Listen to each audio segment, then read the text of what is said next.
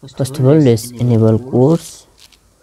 Here builder dot services dot add CORS option goes to let's add options dot add default policy and inside policy let's add builder here and inside here builder dot with origin.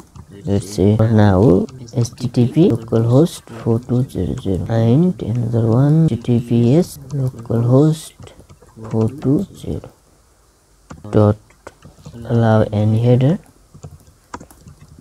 allow any method. And allow credential and let's go to bottom. Here let's add app.use CORS x goes to dot allow any header allow any method and allow credentials. And it was in here with origins let's add here http and another one https localhost 420 now let's add JWT authentication for SignalR so go to here and let's add option dot events new JWT event. And inside here on message received context let's extract access token where access token from context dot request dot query so let's extract.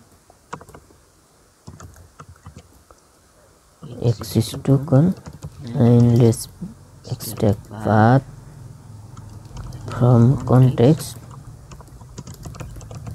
Context dot http context. Request dot path. Let's check not string dot is null or empty. Access token and path dot start with segment slash hubs then let's say context dot token. Let's add here access token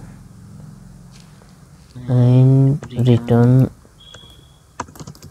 task dot completed save it and go to bottom and add our SignalR so here let's add builder dot services dot add SignalR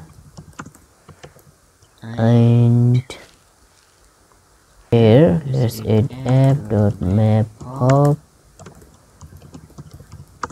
of type chat hub here hub url hub slash chat let's save it